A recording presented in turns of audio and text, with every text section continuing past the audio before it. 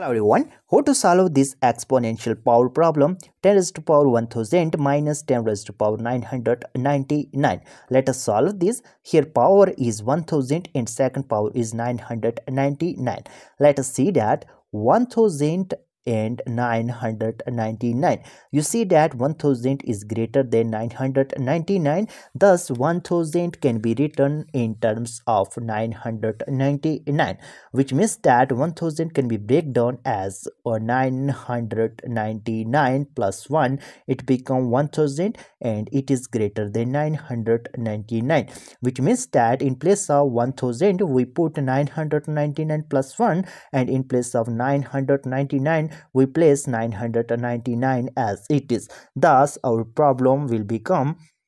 uh, 10 uh, raised to power 1000 can be written as 999 plus 1 and minus 10 raised to power 90 999 as it is no it is in the form of a raised to power n plus m and it is equal to a raised to power n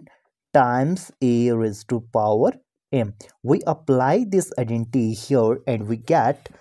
uh, 10 raised to power 999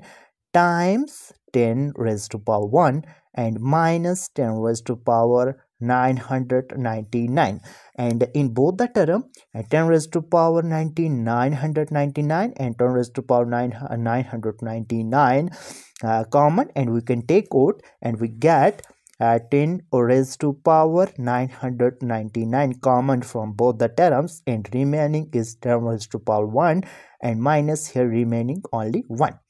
now in the next step we have uh, 10 raised to power 999 as it is and 10 raised to power 1 it is equal to 10 and minus 1 as it is. Now in the next step we have 10 raised to power 999 times 10 minus 1 it become 9